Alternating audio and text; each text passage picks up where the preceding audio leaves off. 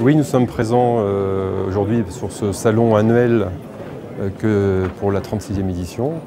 Et aujourd'hui, les adhérents effectivement ont répondu présents euh, de manière très forte, puisqu'on a à peu près on a un peu plus de 70% de nos adhérents qui sont là et qui représentent un chiffre important, puisque ça représente en gros 90% du chiffre d'affaires de la centrale. Les fournisseurs ont, nous, répondu présents également comme d'habitude, puisqu'on a une cinquantaine de fournisseurs qui, représentent à peu près ce que nous avions les, les années précédentes, et on en est très fiers.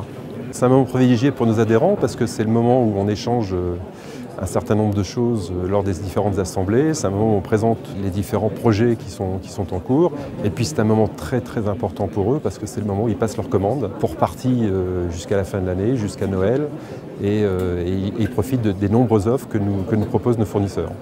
On a plusieurs projets qui ont été présentés et, qui, sont, et qui sont importants pour nous.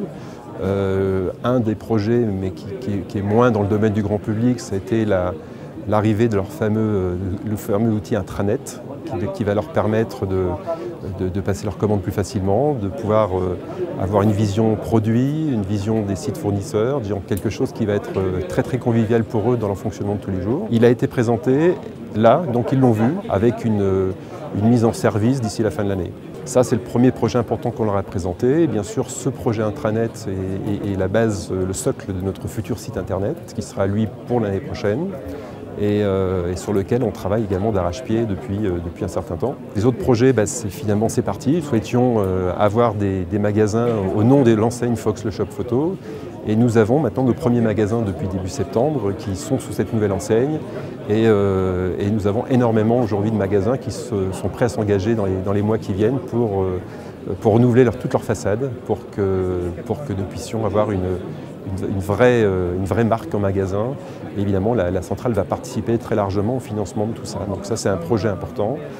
Et je dirais le dernier projet, alors il y en a eu d'autres hein, qui ont été présentés, mais peut-être celui qui est, aussi important pour nous, c'est que nous allons changer un petit peu de mode de communication et nous allons faire beaucoup de communication locale, euh, proche du magasin, avec effectivement un certain nombre de, dépliants qui vont, que nous allons financer sur la zone des chalandises des magasins, ainsi que des, euh, euh, je leur ai annoncé hier, de la radio locale, c'est-à-dire que chaque magasin va pouvoir profiter de spots radio repiqués à son nom, et ça va être quelque chose d'assez puissant en termes de communication pour les magasins.